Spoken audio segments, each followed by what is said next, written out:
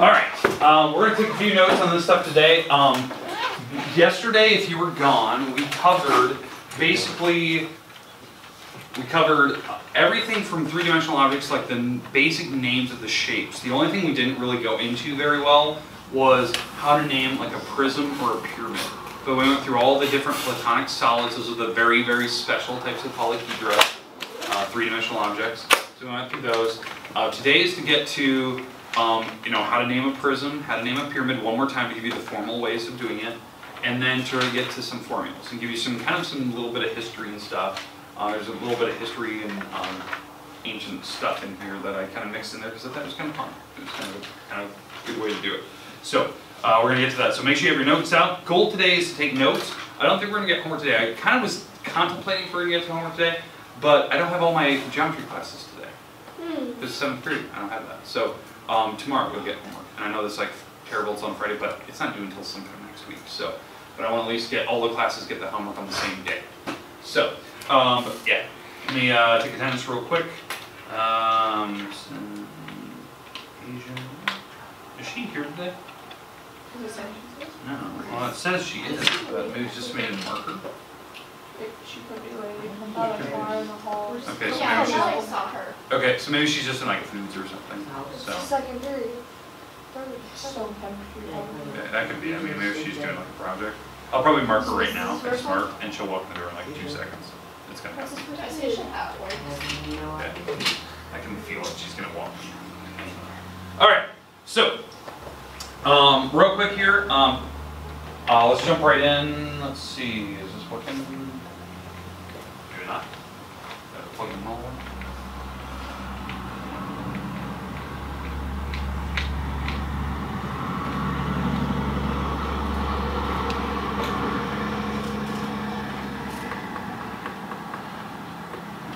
Let's do this. So wait, I have it plugged in? Stupid. Yeah, let's do this. To that same ground. Ah, okay, I don't know what's going on here. Okay, outline. Uh, real quick, uh, yesterday we talked about polyhedra faces, edges, and vertices. Any questions on that? Okay, hopefully we know what those are. Prisms today, that's our goal. Can we know how to name them? Do we know how to how the setup works and how the different types of them? Then we're going to talk about pyramids today and the different names of pyramids and what the book has. I think I have a couple pictures of them. Okay, because I just kind of hinted at them yesterday, but now we're going to the formal definitions. Once we're done with that today, then we're going to get into those uh, those histories of these things. I'm going to show you some histories of pyramids and stuff, which I kind of like. Then we're going to get to the formulas and stuff. But now yesterday we also talked about the conics, the cones, the curves. The types of conics are like um, a cylinder, a cone, a sphere. Those are the conics. Does everyone have a question with those? The cones, conics. Okay, we're going to get to those later. That's going to be like one of the last things we talk about today. And then uh, we talked about the platonic solids yesterday. So those are the regular polyhedra, the very, very special ones like tetrahedras and dodecahedras and stuff. Hopefully everyone kind of knows those. Um, did, did anyone bring like an example of the icosahedron? I, I don't know if it was this class or The, that class. the, The die from Dungeons and Dragons? Yeah, uh, that's didn't bring mine. Okay, there's somebody else gonna bring it, so I didn't know which class it was. All right, uh, but the goal today, before we leave, is to talk about surface area and volume for the first time. I want to get to those today, so you know the formulas. Those formulas will be on this board the next test you take. Uh, retakes for tests, if you're gonna do that still, uh, make sure you're coming and spend a minimum of 10 minutes with me. It's gotta be before or after school. This week was kind of a train wreck with the homecoming stuff, but um, next week, make sure you're getting that taken care of. Don't wait too long, because after, you know, a week or so, I'm not gonna allow you to do it anymore. Okay? All right. Uh, first thing, let's talk about the polyhedra. Let's go to the like the prisms first. So, um, types of polyhedra again was a prism. Okay, that was the first one, right? We talked about that. Prisms, by definition, are polyhedra with two parallel congruent faces called the bases of the picture. So here's a here's a picture I showed you yesterday, right? Whatever two walls are equal, they're congruent and parallel, that's the name of that prism. So on the top, you can tell these are the ones that are parallel, the, the top and bottom. What is that shape? Pentagon. Pentagon? It's, so it's a pentagonal prism. That's what we call it. It's whatever that main shape is. So you do need to know the names of the polygons. So triangle, quadrilateral, um, hep, uh, pentagon, hexagon, heptagon, octagon. You do need to know those still. Especially when you get to surface area, you need to know them. Okay? Pyramids. That's the next one we are gonna talk about today, and get to those specific names of those.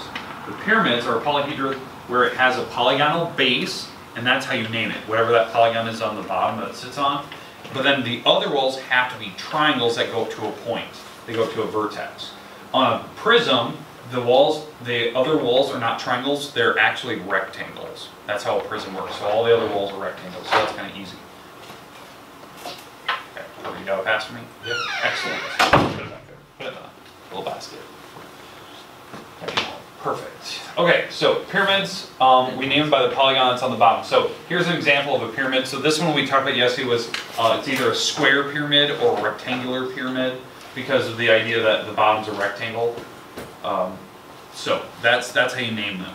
Now, the solids that are not, this is the cones and cylinders, and these are the, these are the objects that are not considered polyhedra because they have curved edges. Okay, yesterday we talked about this one, the sphere, and uh, the movie was Interstellar. I think we talked about that at the class yesterday with uh, that space movie that talks about spheres themselves. Um, the, uh, Rosen Bridges were wormholes. They talk about actual spheres, the entrance of them. Uh, that, that was kind of a cool way to talk about it. But the goal today is to focus on prisms and polyhedra.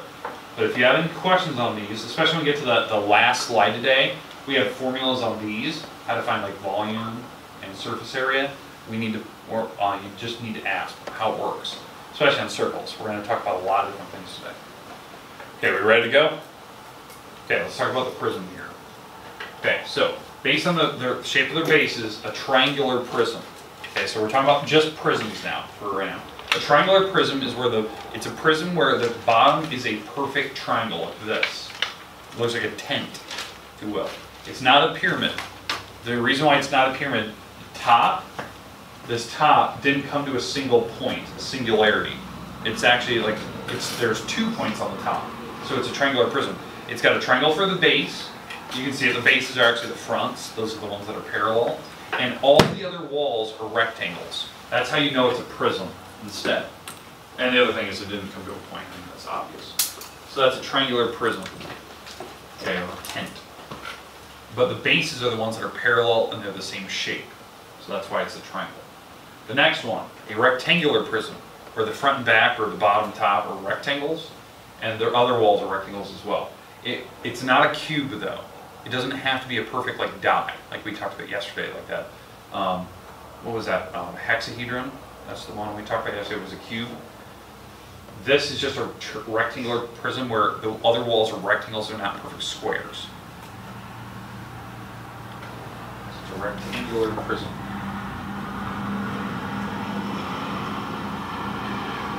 Pentagonal prism. That was the one I showed you earlier. Here it is. The top and bottom are pentagons. The other walls are rectangles. Okay, questions on the, the prisms themselves, like how you name them? So, pretty straightforward, I know these, these are kind of tough to draw, but I just thought it was important that you get to see some of these shapes, especially like the triangular prism, it's, it's hard for people to imagine that without seeing a pyramid. It's not a pyramid, it's like a tent.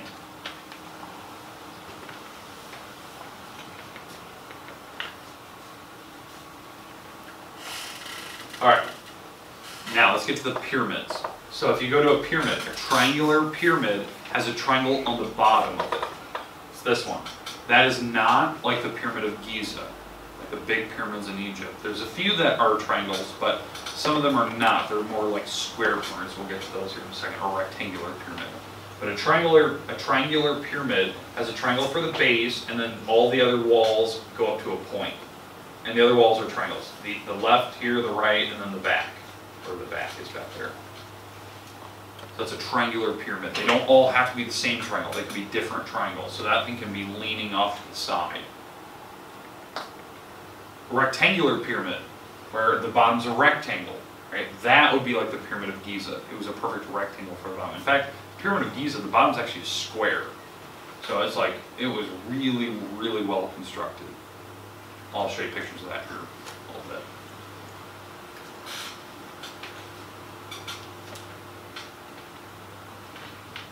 Okay. Next one, the pentagonal pyramid. So the bottom's a pentagon. You can see it. So it's got actually like five walls to it. There's five faces of the Pentagon, so there has to be five triangles going out to a singular point. And we can go to any shape you want. You can go to an octagonal pyramid, you can go to any ones you want. I just thought that was kind of interesting that you need to see that. You need to see these different shapes, and they can call them different names. Do, do we feel more comfortable at how you name a prism or a pyramid? Okay, now the thing we're gonna be doing at the very end is how do you find like surface area? How do you actually find the numbers that would tell you like the, the amount of space on the walls or the volume on the inside it? We have formulas for that. They get kind of difficult. I'm sticking with the easy ones because I'm not gonna have you do these crazy ones like this. This is like super difficult to calculate for a Pentagon prism.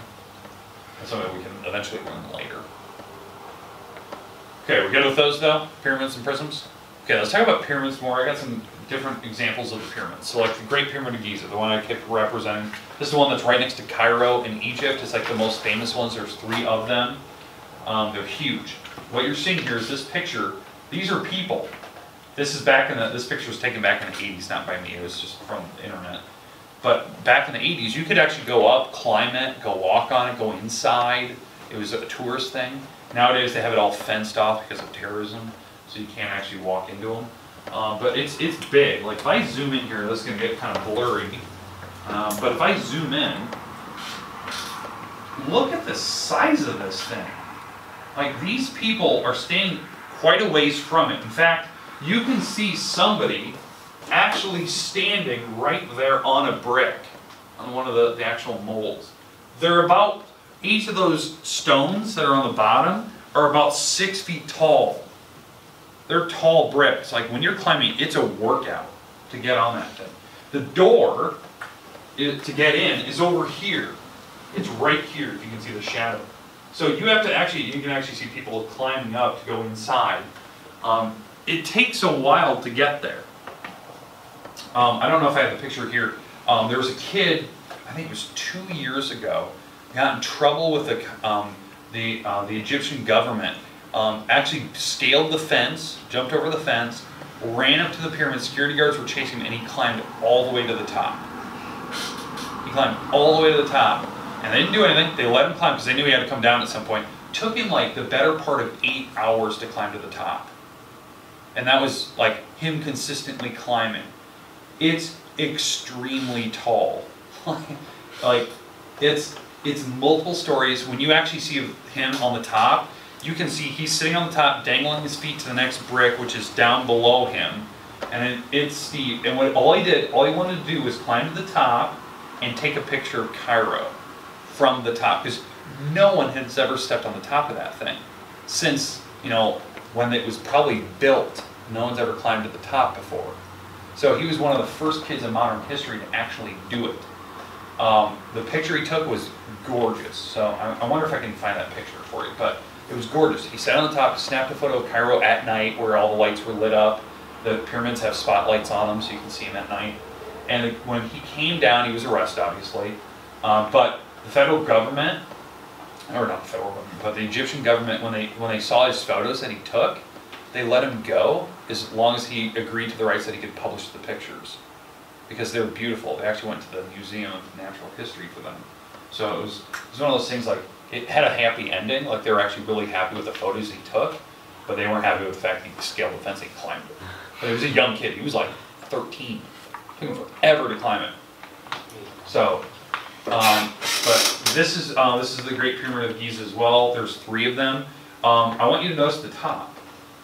You see the top's kind of a different color. Um, the reason why the top's a different color is because the whole pyramid itself used to be covered in limestone. Limestone is this white chalky material, and the reason why um, pharaohs did that is so that during the day you couldn't actually look at the pyramid because it would reflect light so bad it would actually burn your retinas. It would actually almost blind you to look at it um, because it was their burial chamber. It was supposed to be like, you know, revered by men. So it was covered in limestone. Well, the idea is that why it looks like this now is because of sandstorms. Sand, sandstorms in, in Egypt are so big, they're huge. They have winds that can go up to 100 miles an hour. It's kind of like a hurricane, basically, of sand. And it sandblasts the limestone right off. It's literally peeling this limestone right off the, the Great Pyramid. And, but the pyramid is so tall that it pokes out of the cloud line. So it, you, you can actually see the peak outside of a sandstorm. Um, and that's why the top isn't actually peeled away yet. Um, it's, and that's why the pyramids eventually moved away from like these great pyramid styles, because it took, number one, a lot of workers to do it. Um, it took a lot of manpower, um, took a lot of bricks itself. And these things, when you could see it outside of a sandstorm, like you'd see the peak, you knew where to walk, so you could grave rob, because they had gold just stuffed in there. So they made them smaller, so then the sandstorm would go over them, and eventually they would be buried.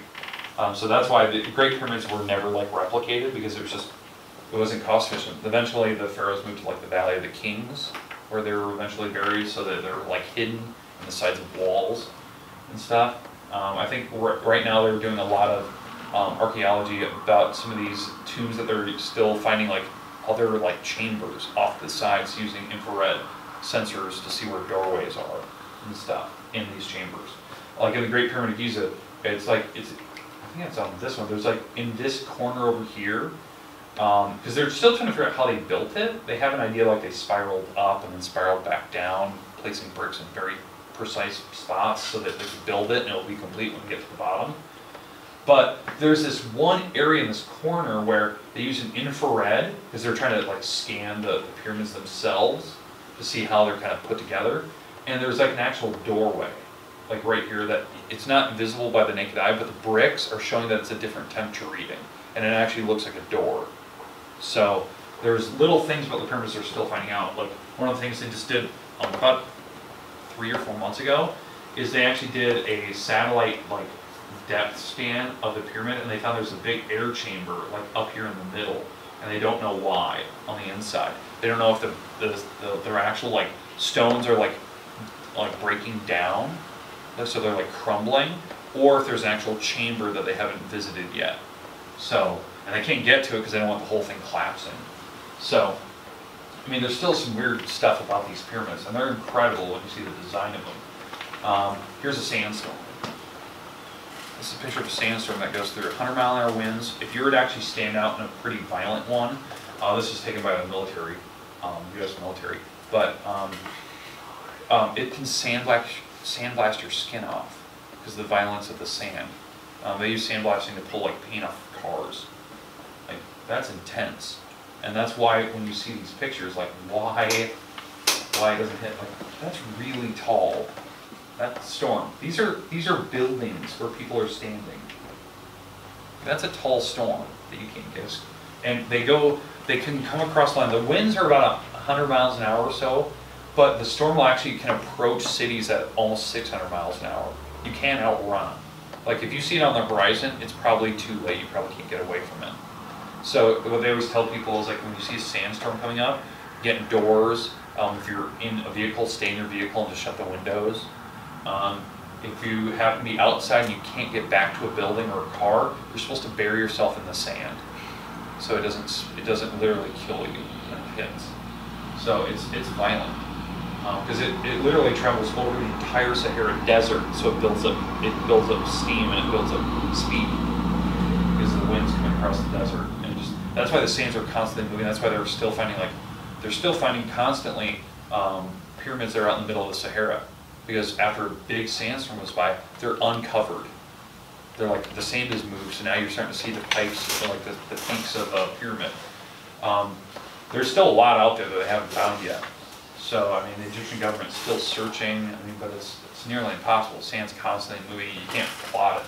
Um, I know a lot of researchers um, when they first had Google Earth um, was a big thing where you could use satellites. People were using Google Earth to find new ones because you could see them through the pictures on Google Earth, and they would try to travel there. So it's pretty impressive. But um, let me zoom out here. Can't see that one. So zoom out. Okay, here's the three pyramids, the Great Pyramids of Giza. Um, they're lined perfectly with the stars of Orion. Um, Orion's belt is a winter constellation for us. Um, so during the winter, you'll see the three stars that are like south of us usually. It travels across the sky as the Earth rotates, but it's usually south. There's three very bright stars in the sky. That's Orion's belt, it's a constellation. And these three are perfectly lined up with it. The three stars in the sky, two of them are very bright and one's kind of dim, and it's offset a little bit. So these are supposed to represent that. In fact, there's in the chambers themselves, the burial chambers on the inside, there's this one little air vent, and I'll show you a picture of that here in a minute. The air vents go, look up in the sky from the actual burial chamber, and it actually looks right at the star. The star's right in view of what it's supposed to be matched up with. Like, it's incredible engineering. Um, uh, but the inside of the pyramid, like, look at the size of this thing. Like, you're seeing the Eiffel Tower, which is massive. Um, you're seeing it compared to the Eiffel Tower. Um, you're seeing it compared to uh, the Statue of Liberty, which is a very big statue. You're seeing it compared to some other stuff. Um, yeah, like um, in Brazil, um, uh, Rio de Janeiro, I should say, the uh, uh, Passion of Christ kind of statue. You're seeing like normal, normal planes. You're seeing other heights and towers. Um, if I compare this to other modern buildings like the Burj Khalifa in uh, Dubai, that's like five times taller than this. It's like super tall, it's almost like a mile high. So it's like incredible the buildings that we build nowadays. But I mean, the pyramid's huge. That's why it took that kid eight hours to climb it, because it's not perfect ground that he's climbing. Right? I just thought that was interesting that you need to see that, like compare it. All right. Here's the inside of the chamber of the big, you know, Great Pyramid, right? You can see um, the burial chamber itself. So this is that doorway I was showing you earlier, where it's kind of up. It's like, you know, 50 feet up in the air. You can go in and down. There's another air chamber that's down below. It's kind of smaller. Then you go up to the great, uh, great gallery here. This is where most of the gold would have been found. There was no gold when they opened up the Great Pyramid because it was already grave robbed a long time ago. Um, King's burial chamber. Um, uh, They have the antechambers down below, the Queen's burial chamber and stuff, uh, the descending passages. And this is a sense of scale, like how big these things are. I don't even know that number. I don't know if it's like 150 feet or something like that. It's big. Like this thing's massive. Um, when you look at the inside, this is the inside of the great gallery, like going up, the grand gallery going up. This is the picture. Um, it's very smooth. They had to install a, a ladder on the inside because it's so smooth you can't walk. You actually slide because of the sand. But they they say that um, you can't fit a credit card between the bricks. Like they're so precisely put together, you can't slide a credit card in between them. They're just tight. It's a perfect fit, and it's like it almost looks like it's laser cut. How well it's constructed. And this was all these chambers weren't chiseled out. They're, the pyramid was built, and these were made as they're putting it together. They're laying the bricks perfectly so it makes this on the inside. Like it's incredible engineering. We can't even replicate it today. Um, but it's just one of those things. I'm gonna see if I can find you a picture of. Let's see if I can find you a picture of that kid that climbed it. I'm starting to stop the camera here. Okay, so let me see if I can find a picture of that kid that climbed this thing. It's incredible when you see his photos. Um, let's see, freeze this.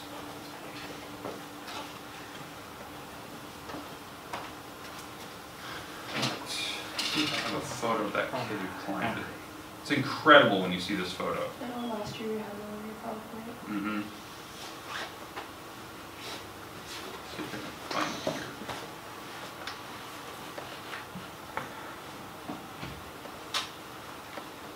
Alright, da-da-da. Geometry, pictures.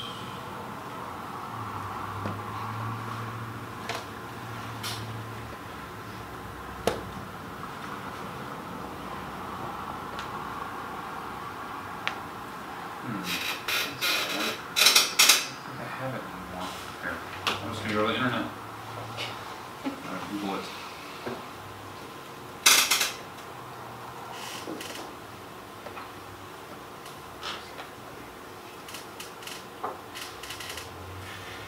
Yeah, here we go. So here's, um, let me pop this up. This is literally the photo that this kid took, and you can see the sense of scale. He's on the top of this great pyramid. Ooh, I should freeze that. Unfreeze. All right, here it is. It's an incredible photo. Like him on the top, they're like, probably one of the first people. Look how far down that is. And it's steep. Like he's standing, I can't even see the next brick. And he's climbing that thing.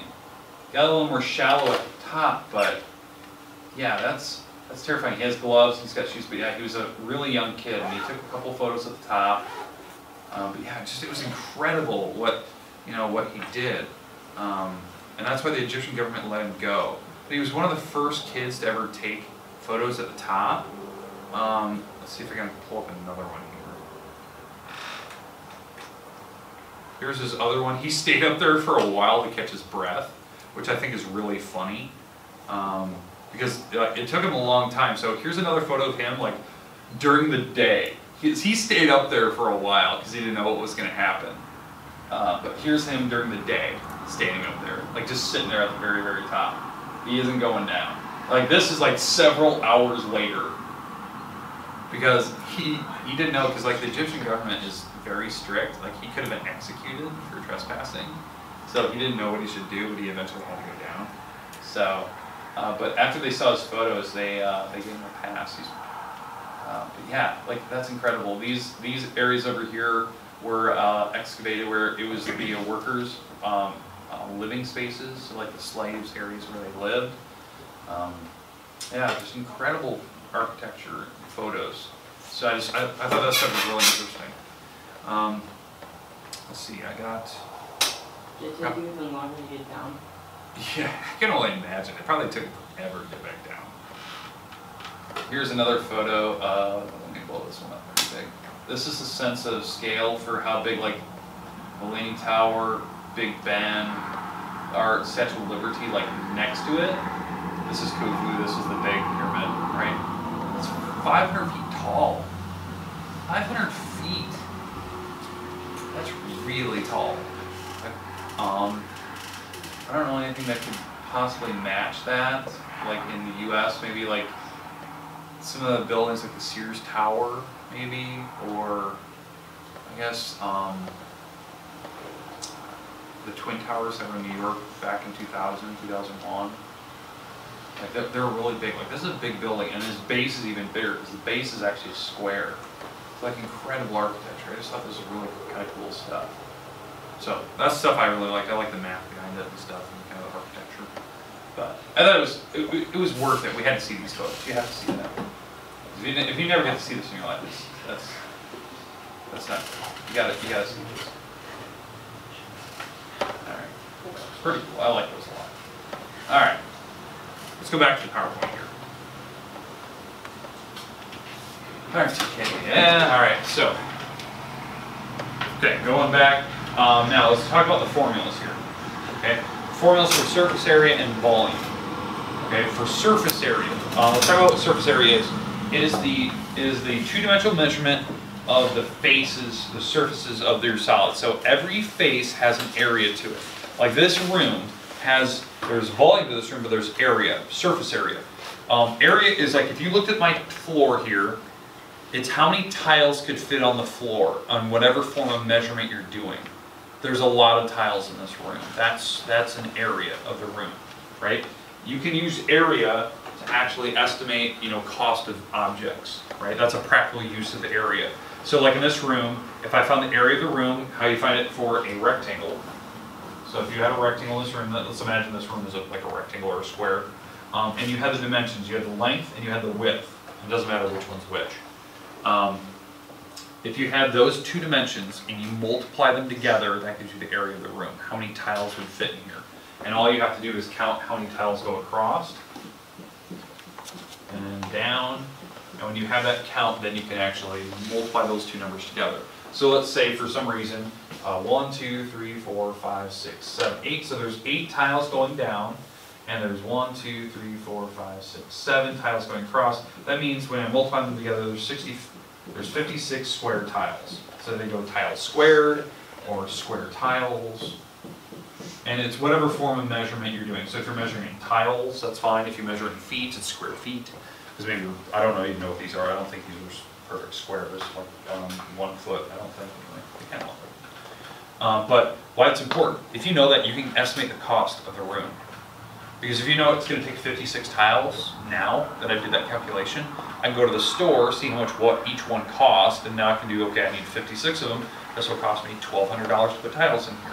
Or if I need carpet, I can estimate how much carpet I need, because maybe these are one foot by one foot, right? Well, there's, there's more than fifty-six, by the way, but if there's fifty-six in here, maybe it costs me a dollar thirty-eight per square foot of carpet, and let's say these tiles are square feet. Well, I take a dollar thirty-eight times fifty-six, and it tells me my total cost. No, that's sixty bucks. I can tell you right now, there's, there's a ton. In fact, um, how many are there? Hey, Jacob, you wanna count like this way? Alex, you wanna count like that way? Count the tiles in the back? Just count, start at the wall and just count across. You don't need to start in the very corner, just start here and just count across. Yeah, keep going. You can get up and move if you need to. Count how many tiles there are. There's a lot in this room. Yep.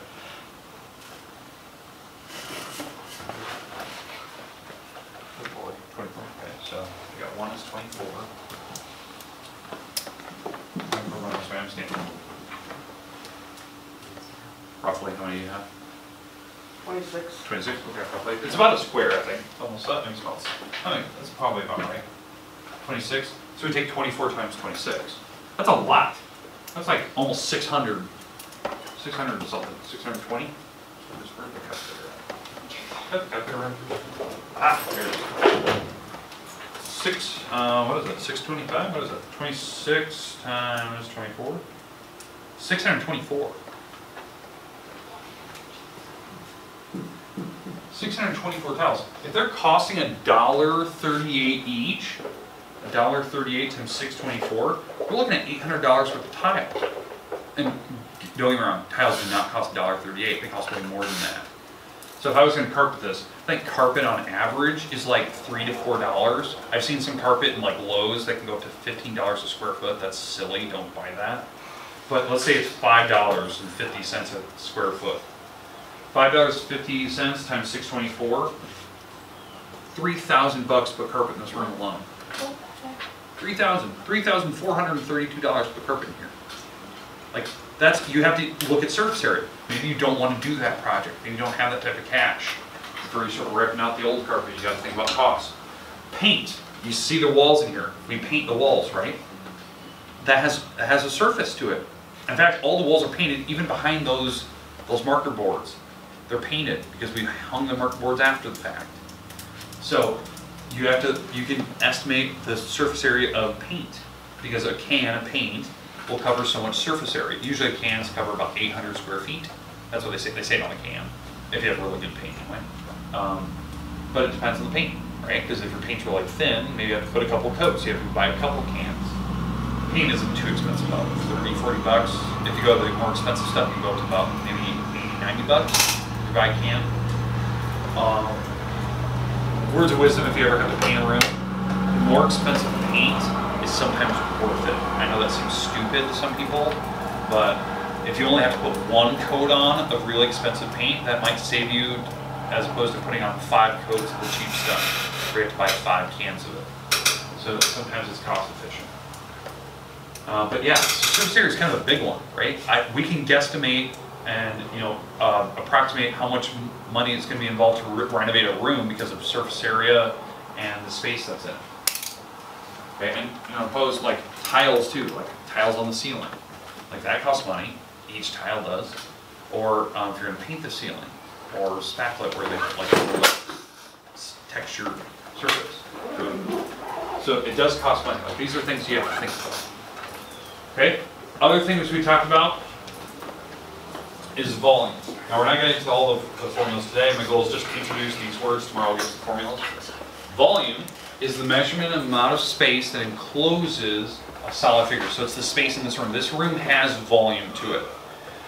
So, the reason why you want to worry about space and volume, you want to worry about heating, cooling, you want to worry about this, um, how many objects you can put in this room. Like my desks is one thing I had to think about when I when I had this room this year. I had to put 27 desks in here. I had to think about the room. It's really hard to put 27 desks in a room that's really small because there's only so much room I can put them before you're like up to here and I'm trying to teach in front of you. right? So that's little things. To find volume, use three dimensions. We're gonna get to this tomorrow. I don't want you to write this down today, but this is what we're gonna look at tomorrow. I'll have this really big for you on the board. It's all the formulas we're gonna use for this first homework assignment. Okay, and I'll explain them tomorrow. Tomorrow's goal is to practice this stuff. Okay, you don't need to write those down. In fact, I'm gonna get rid of those so you can see. Okay, so, so, we're gonna look at those tomorrow. I'll have it really big. We're gonna, you do need a calculator tomorrow, and good news, have all 11 back. So they came back yesterday, so. So that means we're gonna use calculators tomorrow. Bring calculators, bring your books, bring notes. Okay? Perfect. Hopefully, that was a little bit entertaining today, a little bit better than normal. Let's little bit of history. Kind of fun. Alright, get off camera here. Now, remember, after sixth period today, we go down to the gym.